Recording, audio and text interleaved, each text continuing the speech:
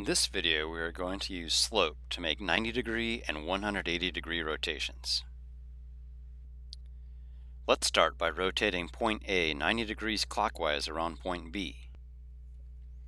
So if we move from A along the circle centered at B, we get to A prime after 90 degrees.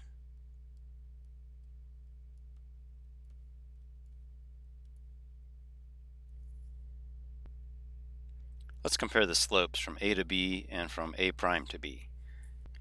From A to B, we need to go down 5 and over 2.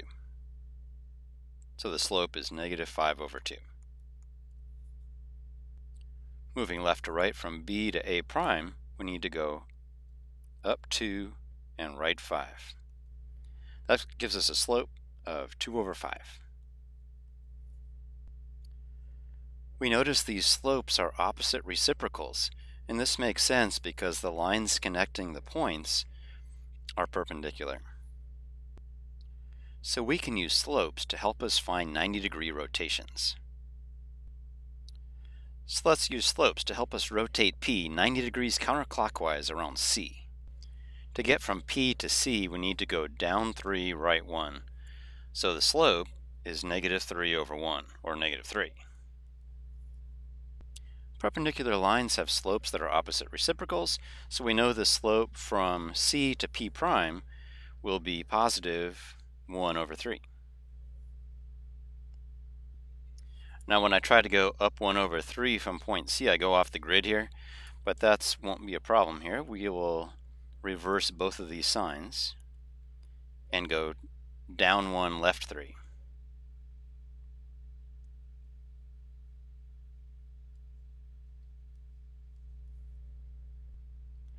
So when we rotate P 90 degrees counterclockwise around C, we end up at negative 1, 0. Let's try one more. Rotate E 90 degrees clockwise around G. To get from E to G, we go up 3 over 2, so the slope is 3 over 2.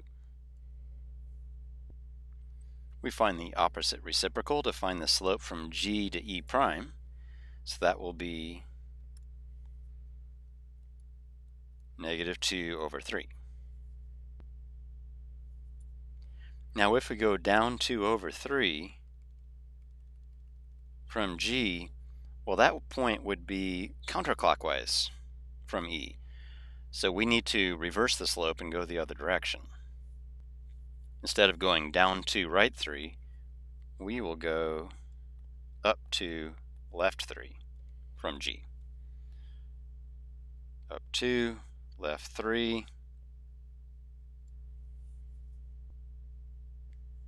So when we rotate E 90 degrees clockwise around G, we end up at the point negative 5, 3. A 180 degree rotation is like doing two 90 degree rotations. Let's see what happens when we rotate E 180 degrees around G. A 180 degree rotation is halfway around the circle. So we notice that if we rotate 180 degrees around G, that we end up on the same line that connected E with G. No matter where you check the slope on a, on a line, it will always be the same. So the slope from G to E prime will also be 3 over 2. So when we rotate point E 180 degrees around G, we end up at the point 0, 04. Now let's rotate R 180 degrees around T. To get from R to T, we need to go down to right 4. So the slope is negative 2 fourths. We could certainly simplify that to negative 1 half. But if we use that same slope triangle to keep the distances the same and go down to right 4, we end up at the point 4, 1. Notice that R prime ends up on the same line that goes through points R and T. Finally, let's rotate W 180 degrees around Z. To get from Z to W, we go down 5 right 1, so the slope is negative 5. We'll go ahead and write that as negative 5 over 1.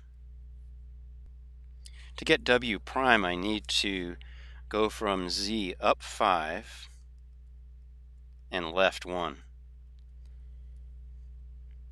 Remember that negative 5 over 1 is equal to 5 over negative 1 because they both equal negative 5. So when we rotate w 180 degrees around z, we end up at the point negative 1, 6. Hope this video about 90 degree and 180 degree rotations has been helpful. Signing off.